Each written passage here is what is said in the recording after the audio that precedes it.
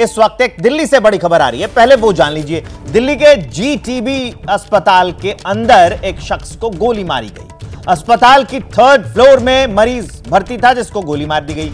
Police के मुताबिक रियाजुद्दीन नाम का यह शख्स है। इलाज करवाने के लिए अस्पताल में आया था। बत्तीस साल का रियाजुद्दीन अस्पताल में तेईस जून को एडमिट था, तेईस जून से एडमिट था वो। रियाजुद्दीन को पेट में इंफेक्शन था। लगभग चार बजे रियाजुद्दीन को गोली मार दी गई। रियाजुद्दीन की अभी मौत हो गई है। तो ये अपडेट हम आपको दे रहे हैं कि अस्पताल में घुसकर, अब सोचिए जहाँ लोग इलाज कराने जाते हैं, जान बचाने जाते हैं, वहाँ पर ऐसी आपराधिक घटनाएँ कई सवाल खड़े करती हैं।